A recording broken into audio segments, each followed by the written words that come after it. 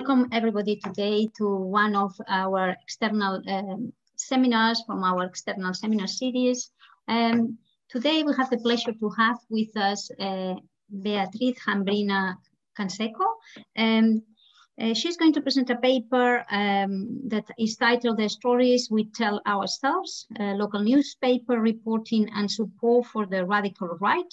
Um, Beatriz is a PhD candidate in economic geography uh, and a researcher at the International Inequalities Institute uh, at the LSE in London. Uh, her main research areas include applied labor and regional economics, with an emphasis on the political and economic consequences associated with spatial inequalities.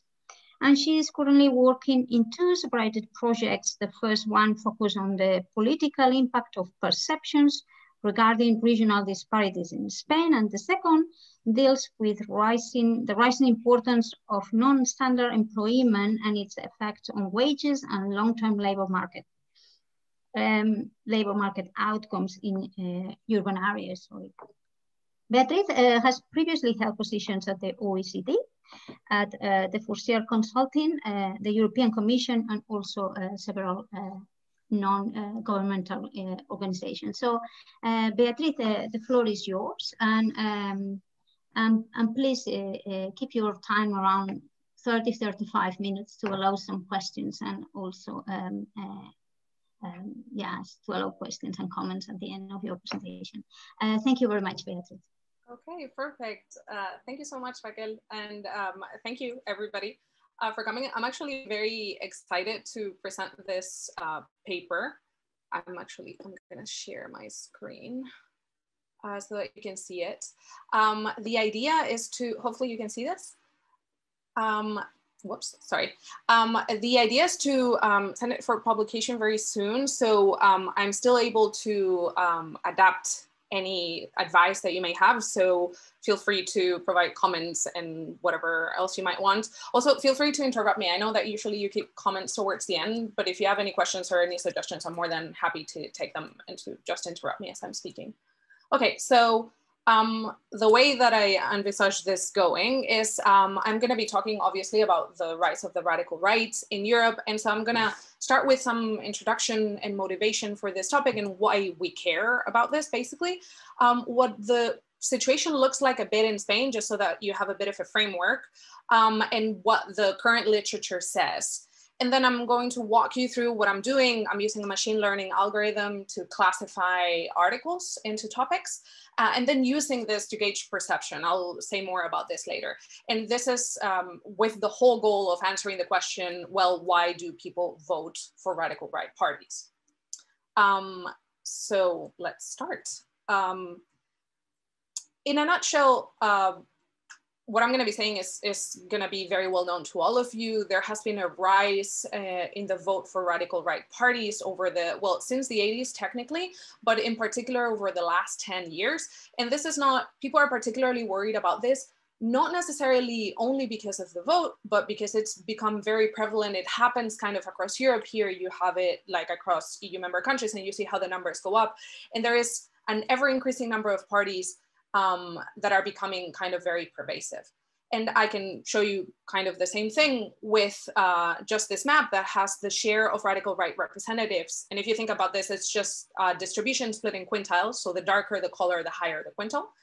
Um, and you see two things. First of all, at least across Europe, it's a pretty widespread phenomenon. It's not like there's countries where this doesn't happen. Um, and perhaps the reason why most academics and most of civil society is worried about this it's not that there's radical right parties per se, it's because um, the topics that they pursue kind of become part of the mainstream. It gets to a point where, where their agendas are so prevalent um, that mainstream parties start adopting some of these features. And you might think of this as something that happened with Brexit, uh, where UKIP was pushing for certain ideas, and then all of, all of a sudden these ideas kind of become common and mainstream and fine. Uh, so this is kind of, in general, why we care. Um, there has been a lot of literature on this, and you will see that most of that literature, although increasingly has become more local, is very national. But if I show you the share of the vote for different parties here for the Front National in France and for Alternative für Deutschland in Germany, you see that there's very regionalized patterns that are very, very clear. A very similar pattern happens in Italy with Lega in, in 2018, and it also happens in Spain. So this is not really, I mean, there are regional features that are important here. The case of Spain is particularly interesting because there are um, five autonomous communities, so five of our, of our regions where you see that the, low, the vote is much lower. And this you can see clearly from the map. Uh, Galicia, the Basque Country, Navarre, Catalonia, and the Canary Islands all have lower shares of the vote. And, and this, it, you might say, well, this is due to historical issues. This is due to mm, political party, like on the supply side. And that would make sense. But what is quite striking is that in that map that I'm showing you, white stands for basically null whereas the darker the color is, it goes up to 60% of the vote in certain municipalities. And if you see it, it doesn't really align with administrative boundaries. There's municipalities with really high shares of the vote that are kind of all over. So it cannot really be institutional features or necessarily administrative things that are driving this. And, and you can see bits of this also in other countries, although it's perhaps not as clear as it is in this Spanish map. Um, so this is what I'm gonna be kind of focusing on um, just to give you a bit of background to so that you understand what the radical right means in Spain, because it's not quite, it has some similarities with other radical right parties, but it's also slightly different. So I've split, what I've done is take uh, tweets from Vox, which is our um, radical right party, um, and kind of highlighting some of the key messages that they focus on. There's definitely a push for immigration, and this is gonna, this is shared across Europe. What is quite interesting is that uh, if you see that tweet is very much about um, you know issues with people crossing over from Morocco Ill illegally or not illegally. Um, but this is something that is not actually in their political manifesto, but does show up on Twitter. And this I'm going to come back to later as uh, like in the interest of Twitter as a means of explaining this issue. Uh, they also focus very much on economic development and employment, and this is not necessarily only for the radical right. It kind of happens uh, across a lot of uh, spectrum of, of Spanish parties.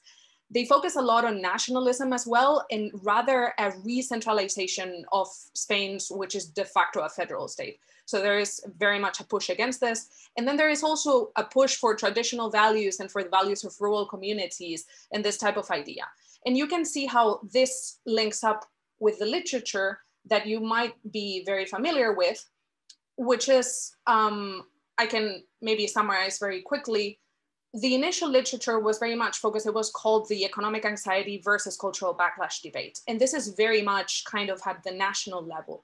And it's this idea that is gonna sound incredibly familiar of well, what is happening is that there's globalization and modernization and things are changing. And this is creating grievances because it's creating winners and losers in society. And what political parties do is take those grievances and use them to, to gather votes, basically. And so far, political scientists agree. Where people disagree is there's people who are saying, well, this is really due to an economic circumstance of unemployment, of um, automation, of competition from China, all of these things that are damaging individual economic conditions and this is what is driving the vote. And then there's other people who say well yes there is an economic thing but it's not really that. It's really very much about values and what i was saying about traditional values and the importance of you know being invaded if you will by the other who is eroding this identity that we used to have. Um, this is from the national perspective. And then at some point later in the literature people started realizing that there were regional and local patterns as well. And so um, some authors, among them Rodriguez Pose, started proposing um, this idea of the geography of discontent, which is very much, it's kind of associated to the economic argument in a sense that it's economic in nature, but it's not really about me being deprived myself because I am unemployed. It is rather about living in a place that used to be doing well, but now because of the forces of agglomeration, because of cities, because um, because that's where jobs agglomerate and where money is, um, my region is doing worse. And I feel like my place of birth or where I live is being left behind. And this is causing resentment that may have pushed people to vote for the radical right.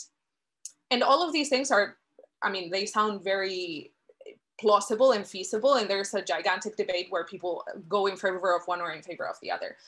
What I try to do here with this paper is to try to answer this question, which one of these is more important? And to do so, I propose that we should look at geographical differences in newspaper reporting.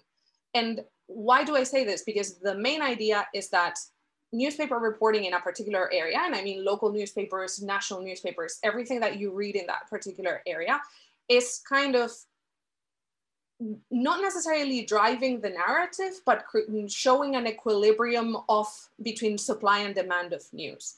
And this is in part why I look at Twitter. I mean, I look at Twitter for two reasons. The first, first one is that it's I cannot get access to all articles um, across Spain for a single year.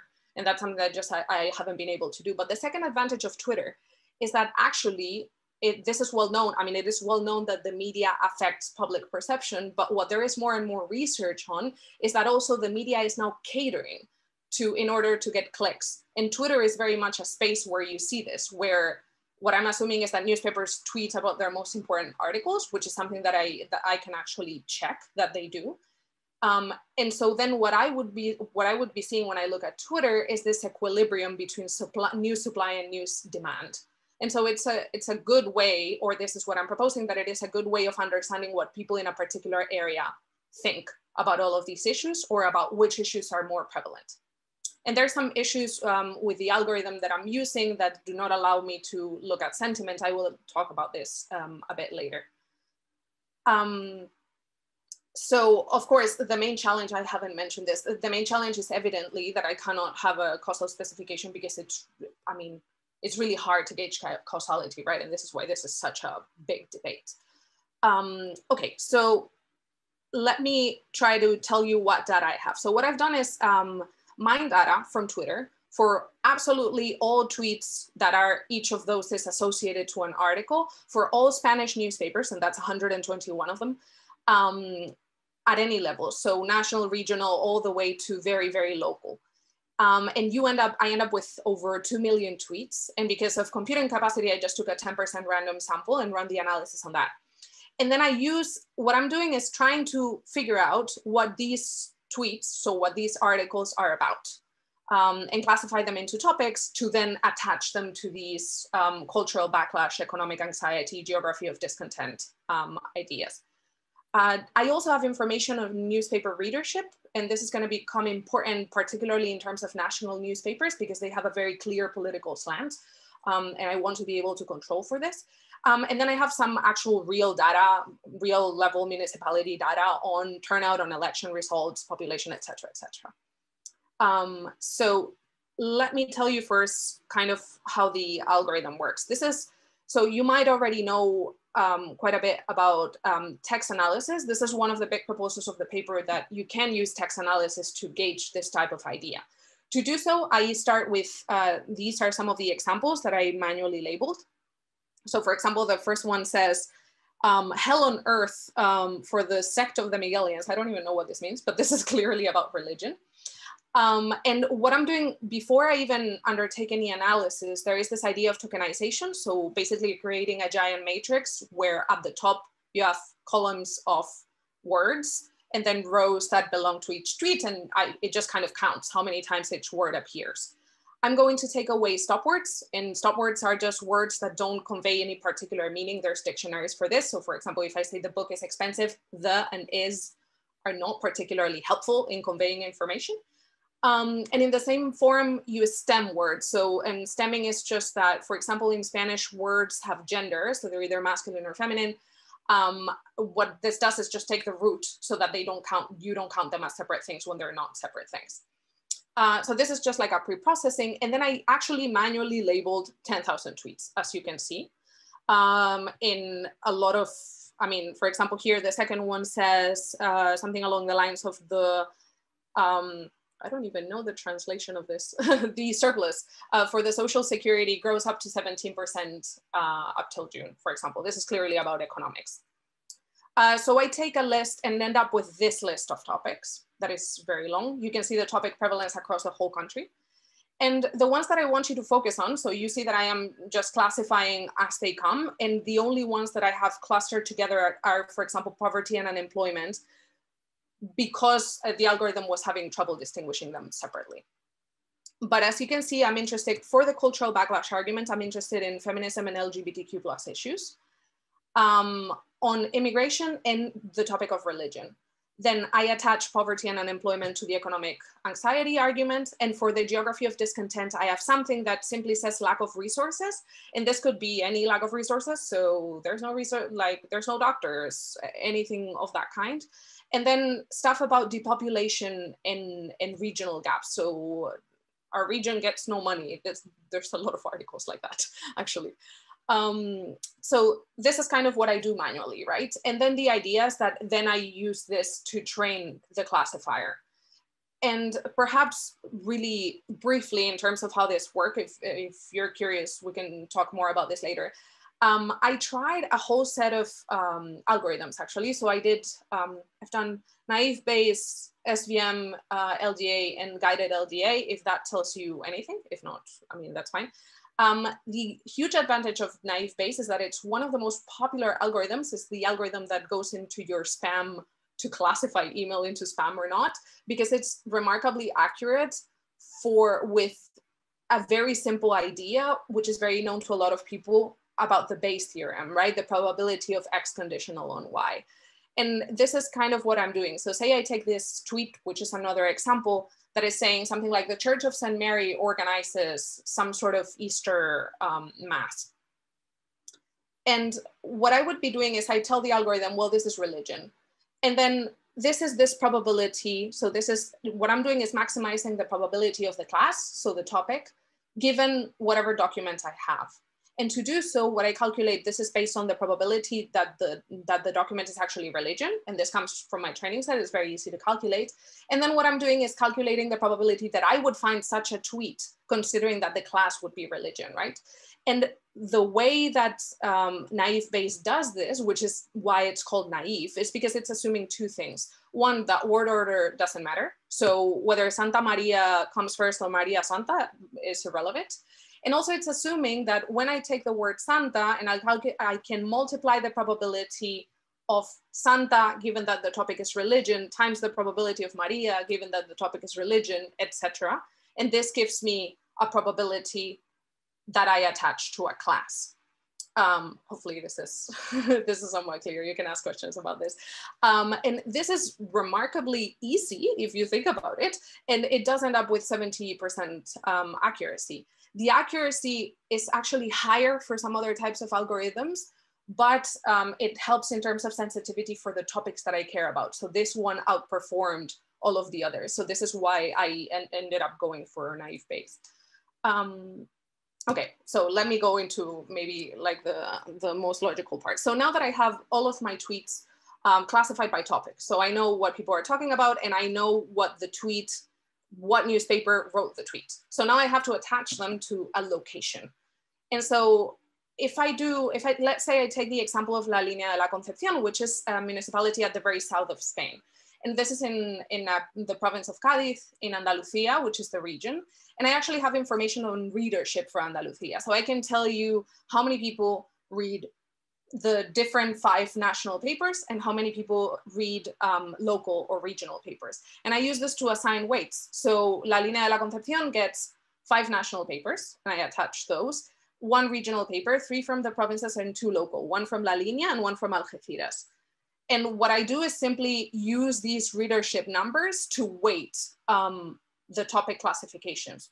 And the idea is that at the very end, I end up with a percent of the of the articles that belong to topic X, which is what you saw earlier. So something along the lines of whatever. Um, 4% of articles are about immigration in La Línea de la Concepción. Okay, so hopefully this is clear. Now I know kind of everywhere in Spain um, what topic is more prevalent by location. And now this should become a bit simpler. Now we can ask the question, well, is it true that if I look at the actual statistic, does it match what the newspapers are saying? Um, and I find that, well, first I should show you this, yes. So these are the, the loadings for each of the different topics across the Spanish territory. I missed the Canaries in there. Um, you, I find like as a Spanish person, I find this quite unsurprising As in, for example, there's a lot of poverty and unemployment here in the Northwest. I was not very surprised about that. Same in the topics of regional gaps. My parents are actually from this area, so I was, this is how I got the idea from the paper by reading all those articles. Um, what I found quite striking, and I'm going to talk about this a bit later, is the fact that feminism is very prevalent in an area where I would not expect it to be. And this is because there is an issue with the algorithm that I cannot solve. And this is a caveat kind of going forward that I cannot assign sentiment. So those tweets are about, they talk about women and they talk about feminism or they talk about gay rights, but not necessarily in a positive manner. And this is something that I can't really, so currently the algorithm does not account for this and it's quite tricky. Um, the this only shows up as a problem in the feminism case because there's clearly like a clear polarization there.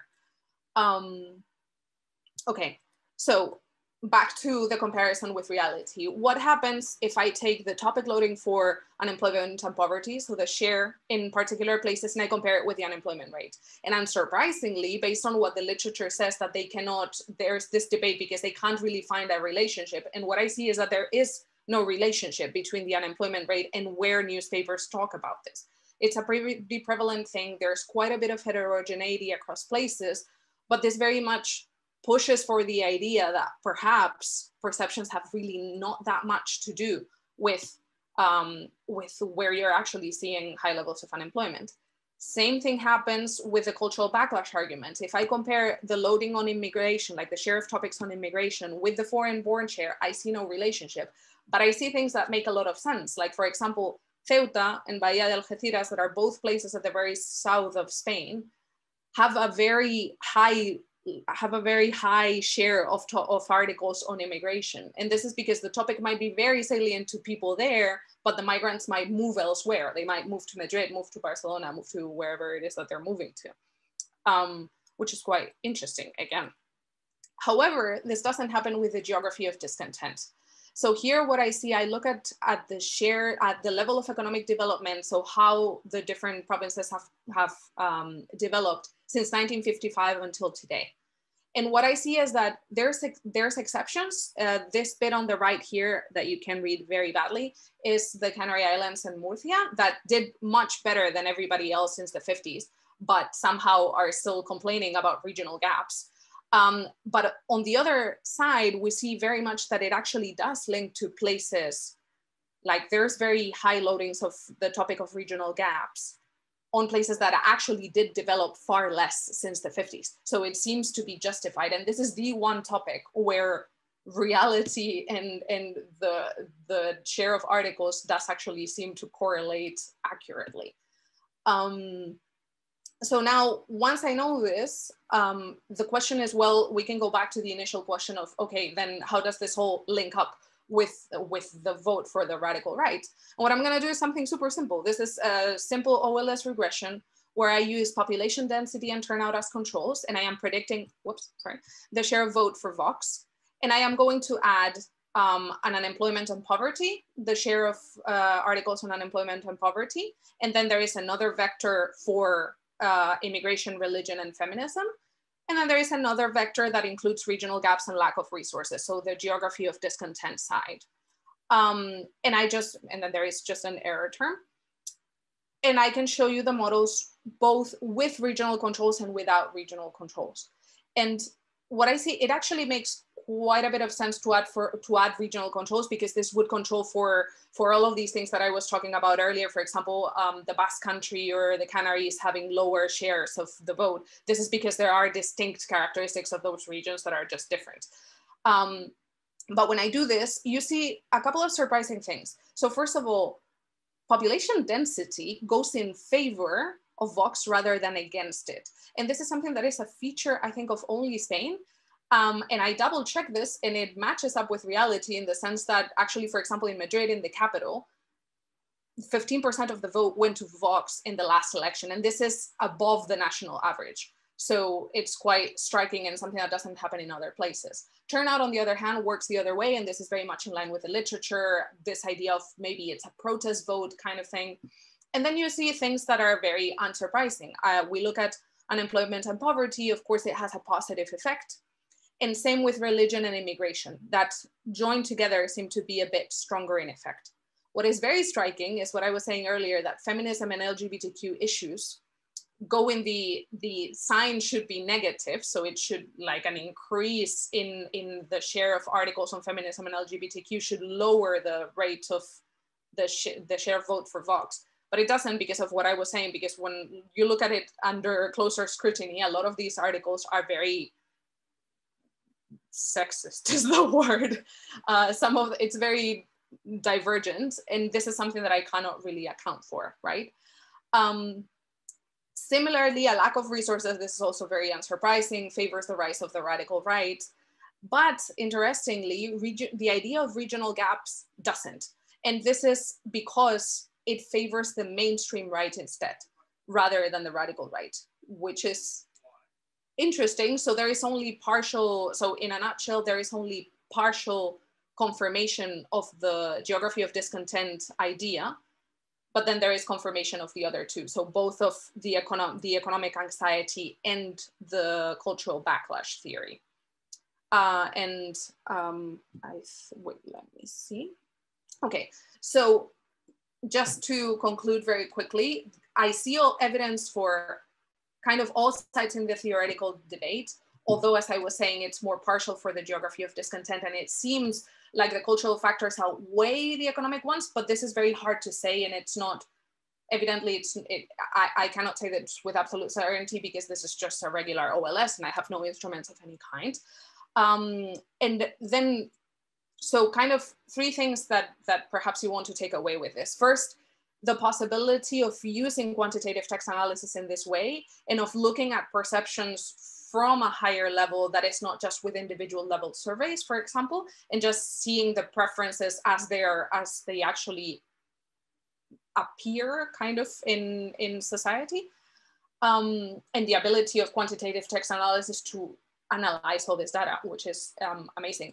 And in terms of an extension, dealing with this sentiment issue in the feminism category would be amazing uh, and extending it to time series. And the reason why I haven't done this is because Twitter blocked their access to, to mining their tweets um, recently. But um, those are two planned extensions. And I think, yeah, I think that's it. I don't know if you have any questions or comments. I think I kept it to half an hour. Yeah, exactly. Yeah, perfect timing. Uh, spot on. Thank you very much, Beatriz. A very, very interesting presentation. Um, I have seen many, many questions in the chat. So um, does anyone uh, wants to ask uh, any questions uh, to Beatriz? Um, John, you were asking some questions. You Do you want to uh, elaborate some of them? Or? Thanks very much. Very, very interesting. Um, a number of sort of practical questions the, the tweets are based on on newspaper coverage to what extent and i just don't know this are the different newspapers in uh, in in spain politically aligned in the sense that their editorial policy and this is true in the uk their editorial policy is in a particular spectrum of politics and therefore what they are uh, their editorial policy affects what they're putting in their papers and then in turn what they're tweeting. So that's just an empirical question. I've got lots more questions but can you help me on that one? Yeah so this is actually why i control this is i was very i found this really striking and very strange actually. Uh, national papers have a very very clear political slant like it's there's five national papers and it's really easy to say which one is right wing which one is left wing regional papers don't which is quite interesting because they belong to some of the same media conglomerates across the country. And there may be some type of slant, but it's definitely not as clear. And this is why I use newspaper readership because it splits each of the national papers with their readership by region. And you see there's really vast differences across places. Mm. Um, so, so yes, that is definitely an issue, but I am actually able to capture some of this with controlling for readership. Thank you. Just to follow on, the, the other thing that I sort of noticed, um, and, and, again, I may be wrong in seeing that, um, I, I, think the in the LBGBT sort of ed edition, it seemed to be that there was most um, sort of dispute in what looked like being uh, Catalonia, which I, I, would understand is probably the more liberal part of, of, of Spain, mm-hmm. um, and where there will be perhaps more a stronger LGBT movement, which in turn is getting a reaction from uh, the conservative elements. So, is there an element of, of, of, of regional differences? And, and why this is important, if I put this to the UK context, um, clearly, you know, the woke wars are being driven out of, Lo- start in London, that's the most liberal place, and, and arguably Catalonia is the most liberal part of Spain. Um, and the backlash is coming from um, the rest of the country. Um, the cultural wars is a cultural war, and it's creating huge political problems for, for example, the Labour Party. So, to what extent is there a, you know, a, a differential in in in in in which in, in degrees of liberalisation, which is getting backlash differentially from place to place? Um, that's a very naive question, but. Uh, so I I would assume, and I don't know this, that cities would seem to be more liberal, like particularly on the feminist side. And this is in general. So the big actually gay center is in Madrid, not not in Barcelona. But yeah. I mean, they're both two very liberal places. But then what I found actually it wasn't against LGBTQ. It was mostly against feminism that that was the most striking when I did the analysis. And it is I, I found this to be the case around so kind of in the north around it was very specific communities so it seemed to be murcia and aragon for like people who know where these are it, so I, I, really i don't think that it's just like an urban rural situation um, it, it really seems to be certain regions and, and I, I for the love of me do not know why this is but for sure it would correlate with the vote but yeah i don't have a good answer for this other than yes you're right there's definitely something like that there but my, my final comment, and, and again, it's sort of implications for the sort of work that we do in the academy on regional analysis. It does seem to me that it, that what is happening increasingly, certainly in the UK, is objective analytics are being displaced by the populism of politics in the media. And, and resource allocations, just to tell everyone, know, you know, we know that in the UK, uh, they've just cancelled the place fund in the government and it's all going to be linked to the levelling up fund and the levelling up funds are going to places which are you know fighting the, against the woke agenda and are getting resources not related in any way to objective analysis and that has implications for us in the academy that the whole process of resource allocation is becoming increasingly politicized. Yeah like I, I think this is happening all over the place this is my my read on this. And this is kind of what i'm saying that the media is in part catering to what people want or people's opinions rather than saying oh these are the facts fyi and it, that definitely it seems to be happening everywhere is my assessment of this but uh, yeah thanks well very interesting thank you very much i'll shut up now and ask other, other people ask questions thank you Josh, uh, you want to ask a question?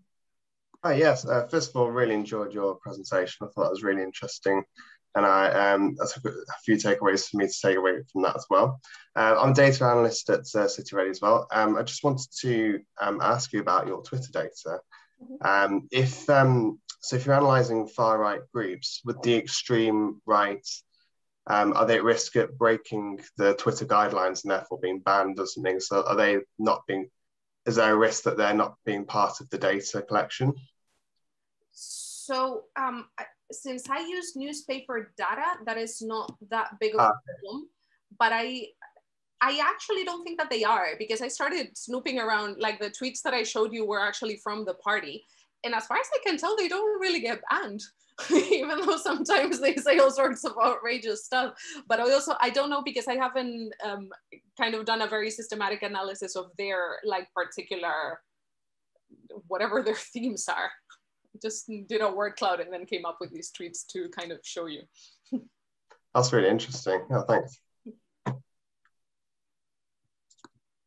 I have a question by uh, Carlo Corradini. I think that uh, his internet is not very stable, so I'm going to read the question that is in the chat. Um, is there any an issue in newspaper readership variation.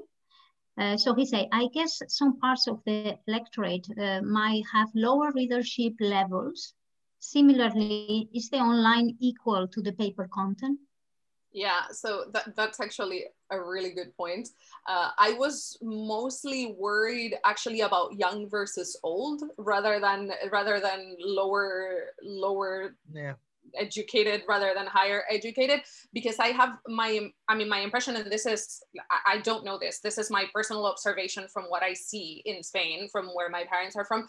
Uh, actually a lot of um, people with lower levels of education read local papers would there i was surprised by how prevalent they are like if, if you see the numbers it's uh, crazy and my own observation is that this seems to be correct um, coming from a family that doesn't have um, crazy high levels of education.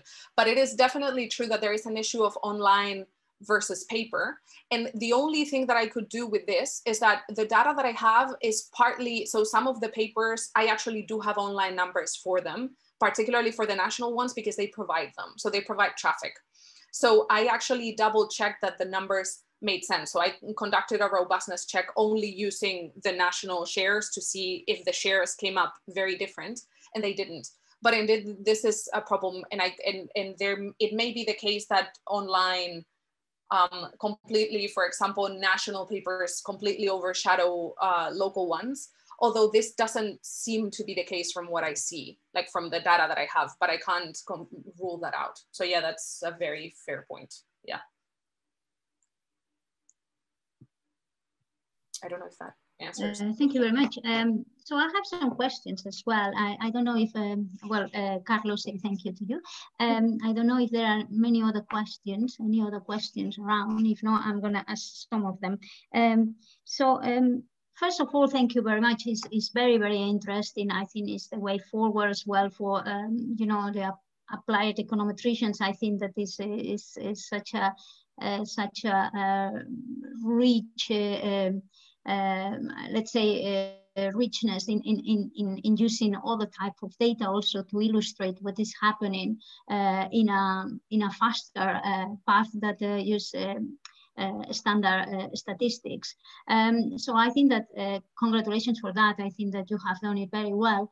Um, okay, I think that thinking about the geography of this content, then one of the main issues is that when we are using uh, regional data, um, we uh, tend sometimes to do not take into consideration the within uh, inequalities. Uh, uh, so many times um, uh, there is a lot of discontent in, in parts of, uh, for instance, Barcelona or in parts of Madrid, but it is not really well captured when we are using just a control for Madrid or, you know, or things like that.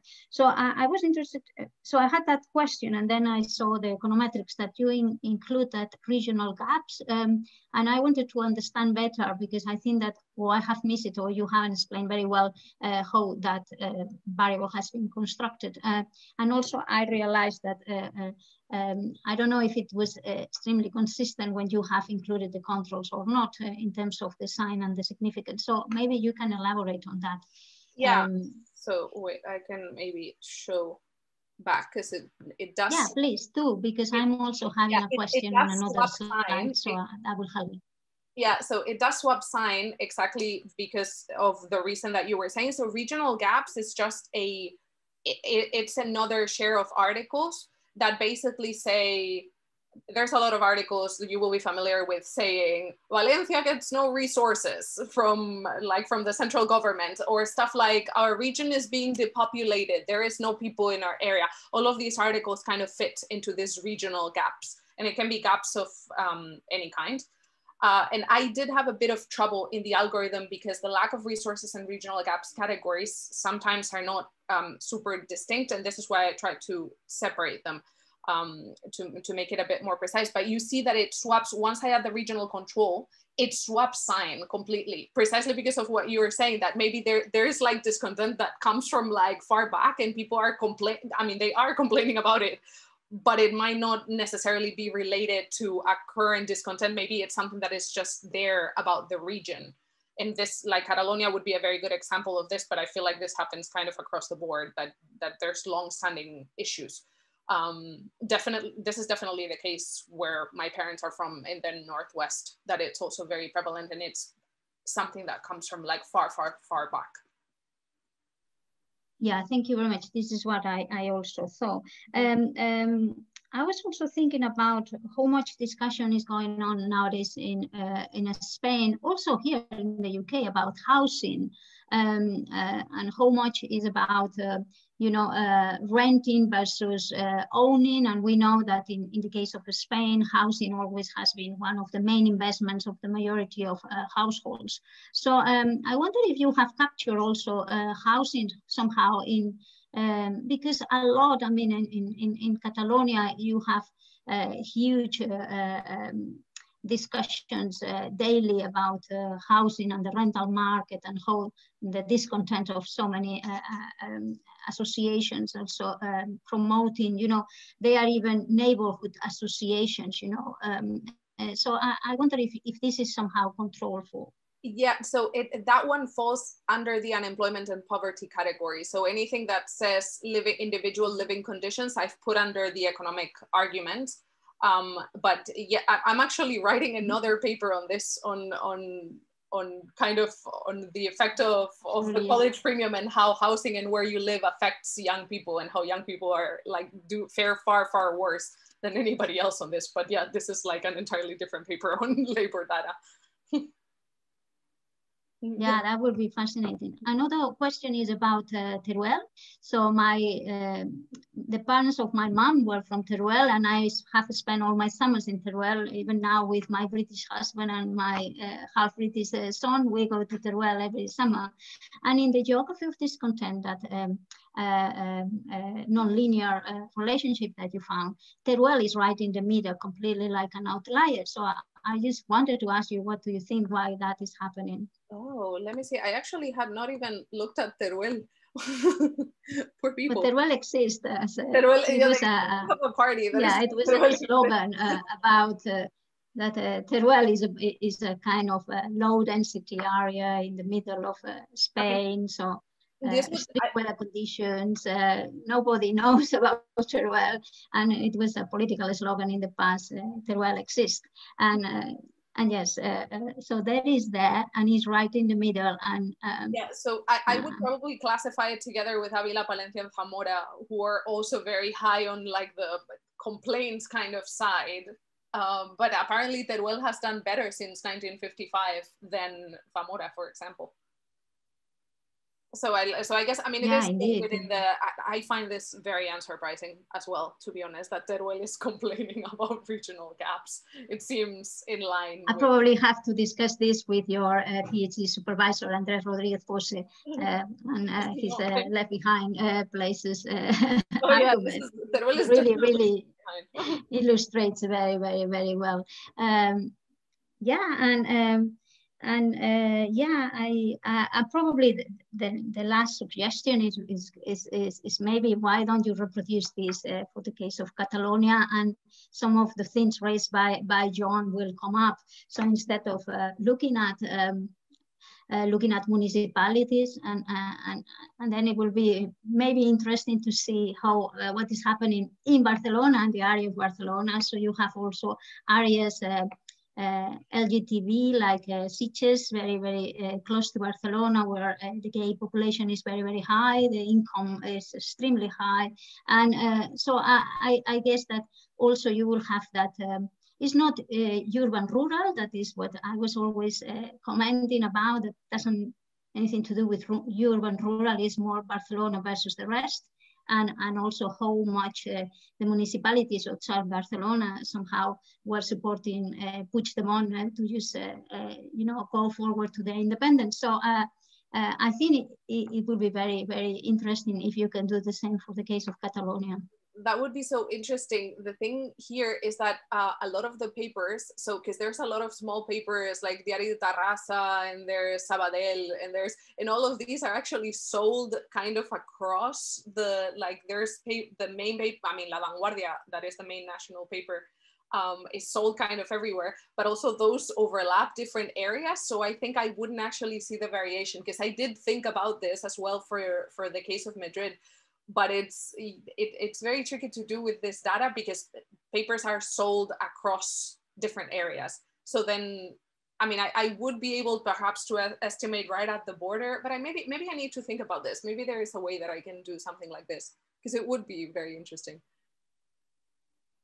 yeah, uh, lovely to to just collaborate with you if there is any interest of uh, thinking the way forward on that. I, I, would be very interesting to see what is coming out from uh, even the illustration of uh, of uh, the, the descriptions of the tweeters. Uh, that is itself very interesting. Yeah. Um, Josh, do you have any other question? Yeah, just another quick question. Oh, I was talking to Martin. That's all right. No, it's, I'm more interested from a computer science point of view as well. Like what um, lang- computer language did you use and what um, modules did you use to do the machine learning? I'm, I'm just using quanteda in R. Okay, yeah, cool. Yeah. yeah, yeah, I thought it'd be R. I used, I I, I use Python and TensorFlow for, for mine, but um, I don't know much so much of the R side of things. So that was really interesting. I have the opposite problem. I don't really know anything about Python, so I do what I get. Actually, the mining of the data was a pain because, I because I don't do Python and I had to like somehow modify somebody else's code and it was a mess. But thankfully, I made it. That was the the complicated part, really. Vaya quanteda. Thanks. Yeah. Uh, let me see. Can, yeah. can I have another one? Hey, John? Yeah, yeah I, it, I, I'm totally fascinated, and more from a sort of not from a quantitative analysis, but a political science. I mean, the, what you were touching on is the extent to which these movements then influence mainstream conservative parties. That's happening across Europe. You know, it's happening in Germany, it's happening in the UK with the Conservative Party. So you're seeing a, a process that is going from the fringe and affecting some of the core uh, traditional conservative parties. Um, and and as you quite rightly said, Bishop, it is not just a Spanish phenomenon; it's, it's a, a, pretty global phenomenon. Um, and it has pretty important relevance for, for us who are working on uh, issues of une uneven regional development and, and how how one can uh, handle all of this stuff. Because potentially, and I did put this in the chat, some of this tech approach could be predictive. In other words, you know, not looking at what has happened in the sense that you're picking up trends which might then influence mainstream political movements. Mm-hmm. Um, and, and I do think that's extremely interesting. Um, way back, I remember reading a stuff, some, uh, an American uh, uh, guy who wrote a book called Megatrends. And basically, what he was picking up was analyzing newspapers to pick up social trends hmm. at a local level, which became national political trends in the US. This was before digital technology and I do think we've done work on mega trends in in in in uh, City-REDI, um, looking at uh, you know future trends and the development of the city. I do think this sort of analysis, and I flag this up for colleagues in City-REDI, I do think this is something that we should be thinking about doing. We've got skills in Josh and his team to do large scale data analysis, um, but largely of quantitative data and not narrative data. And I do think these narratives, which are the title of your paper, are incredibly important. They, they just spread and they then become part of the mainstream. So I do think you're touching on something, and I'm really glad I listened into you, which is really quite an important, you know, trend that we in the regional development world needs to take take note of. So I don't have a, a concrete answer to it, but I would uh, talk to colleagues in, in, in City-REDI to think about what this means for the sort of work we're doing here. Um, and if you just read, if you read the left-leaning newspapers, I read uh, uh, uh, the New Statesman, which is a, a, a, British magazine, which is talking about the crisis in the Labour Party, you know, because it's metropolitan. The issue that's going on at the moment, the culture wars in the UK are being waged about university by the university. Culture wars are top of the agenda politically at the moment uh, for the government attacking museums, galleries, football, absolutely everything. And it's culture wars.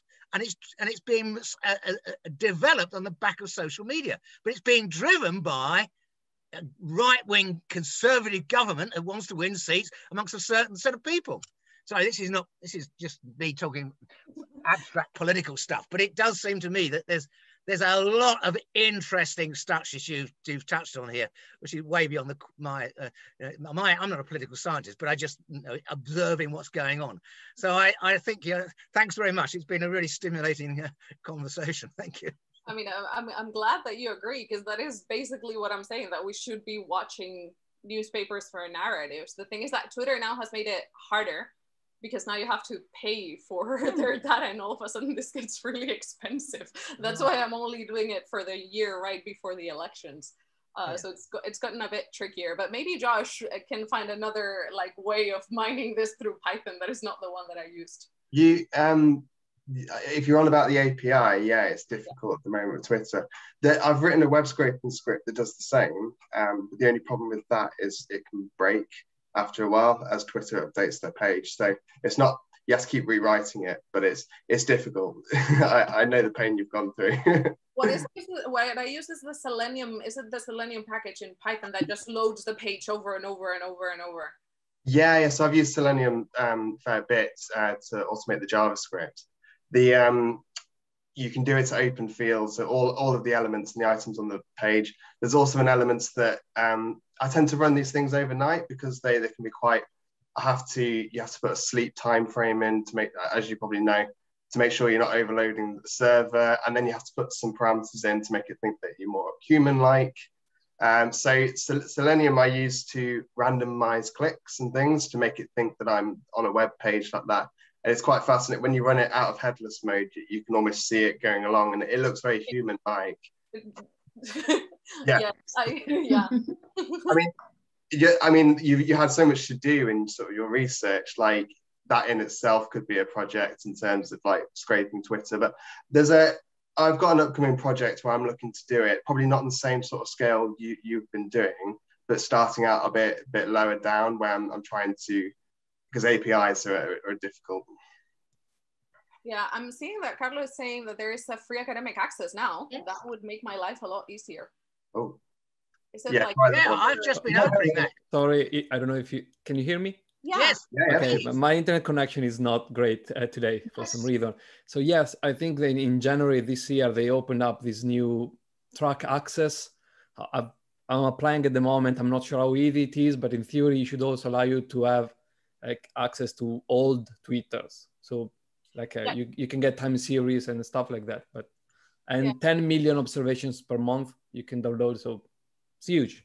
That's really good because that is literally the problem I was having that I had to like get around all of these Twitter things because it only lets you download the last seven days. I think it is um, through their API, like through their normal methods yeah yeah uh, again i'm not sure how because you look on their web page it seems very interesting but i'm i still don't have access so i'm not sure whether it will be that good but you know it's worth browsing. I mean yeah thank you. No problem. yeah. Well that's an opportunity for someone in to follow up in in City-REDI yeah there's like a lot of downloading. This is i can see my supervisor telling me to write another paper. I've, I've, just copied the link.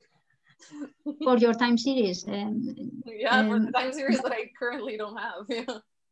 Yes and that would be very good.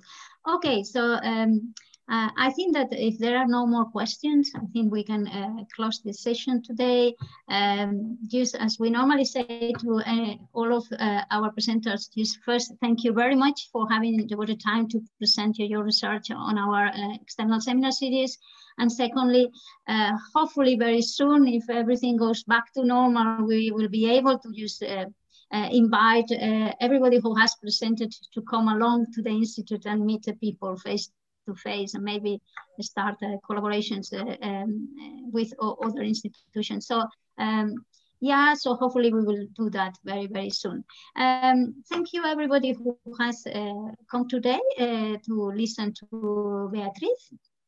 And uh, thank you very much again, Beatriz, for um, having uh, presented today at City-REDI Seminar Thank you for having me. Um, to all of you, just enjoy the weather. If you are in the in the UK, the weather is nice today, so this probably is our summer. so um, enjoy the weather and uh, and see you soon.